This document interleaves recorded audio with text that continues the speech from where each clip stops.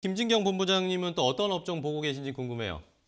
네, 저는 오늘 미디어 콘텐츠 관련주로 좀 말씀을 이제 드려보려고 합니다. 네, 좋습니다. 네, 아무래도 한류 콘텐츠의 인기는 여전히 꾸준히 이어지고 있는 것 같습니다. 네. 뭐 웹툰이라든지 드라마, 뭐 애니터, 게임 여러 가지 이렇게 콘텐츠들이 계속적으로 순환매 장세에서도 기대감이 나타나고 있는 상황이고요.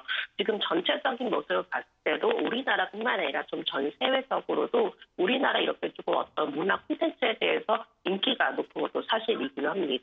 어, 물론 관련 주들이 한 차례 상승 흐름 보이고 조금 단기적 좀 조정 모습이 나오고 있는 모습인데요. 하지만 이런 전체적인 분위기를 봤을 때는 그래도 기대감은 여전히 남아있기 때문에 계속적으로 꾸준한 관심이 필요하다라고 생각을 하고 있고요. 그러니까 물론 콘텐츠에 대해서도 워낙에 어, 사람들의 관심이 높아지고 있고 수요도 증가를 하고 있긴 하지만은 어, 지금 이제 시국으로 좀 따져봤으면 여전히 또 비대면 시대가 이루어지고 있습니다. 그렇기 때문에 집안에서의 좀 생활이 이어질 수밖에 없기 때문에 현 시국에 대한 상황도 반영을 한다면 이 콘텐츠 관련주에 대해서는 그래도 꾸준히 관심을 가져올 필요가 있다라고 좀 말씀을 드려야 될 것 같고요. 또 글로벌 OTT 가입자들도 급증을 하고 있다고 합니다. 그만큼 어, 가입자들 수가 많아지고 있다라는 것은 이런 콘텐츠에 대해서는 워낙에 관심이 높아지고 있다라는 점 그리고 플랫폼 회사들의 투자가 활발하게 이루어지고 있기 때문에 이로 인한 어떤 성과도 좀 기대가 될 수도 있는 부분이겠죠. 어, 특히나 국내 콘텐츠 제작사들도 지금 성과를 보여지고 있는 상황이고 전 세계적으로도 국내 콘텐츠에 대해서 워낙에 수요 증가가 이루어지고 있기 때문에 이 부분으로 봤을 때는 충분히 중장기적인 성장성이 좀 기대가 된다라고 보실 수 있을 것 같습니다. 네.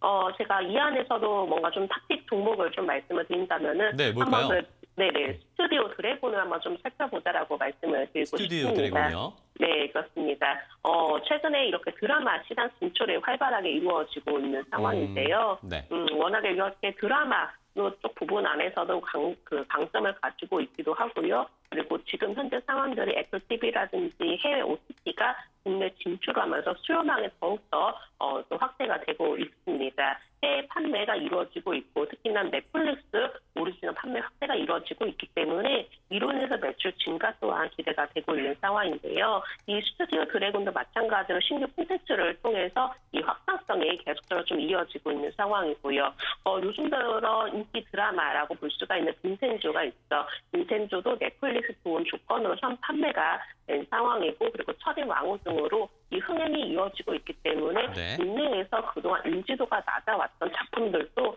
판매 단가를 높이고 있어서 이를 음. 통해서 지역발 판매를 통한 매출 성장에도 기대가 되고 있습니다. 어, 여러 가지 매출차가 계속 다변화가 되고 있기 때문에 충분히 중장기적인 면에서도 이 판매 호조세가 이어지지 않을까라고 판단을 하고 있고요. 특히나 우리나라 네. 콘텐츠에 대해서 워낙에 인기가 높고 또 판매 단가도 가파르게 상승을 보여지고 있기 때문에 또 수익성 개선도 기대가 되기 때문에 네. 스튜디오 드래곤의 경우는 조금은 여유 있는 중장기적인 관점으로도 살펴보자라고 좀 말씀을 드리도록 하겠습니다. 네, 고맙습니다. 스튜디오 드래곤에 대한 투자 포인트까지 알려주셨습니다. 오늘은 또 디즈니 플러스와 관련해서 이것과 관련된 종목들도 올라가고 있으니까 콘텐츠 종목에 대한 관심은 계속 이어지는 것 같습니다. 김진경 본부장님은 스튜디오 드래곤 그리고 이재규 대표님은 코로나 진단 키트로 아이큐어를 소개를 해주셨으니까 시청자 여러분들 잘 참고해 보시기 바랍니다. 자, 오늘 두 분 좋은 말씀 해주셔서 감사하고요. 다음 시간에 또 뵐게요. 고맙습니다. 네, 감사합니다. 네, 고맙습니다.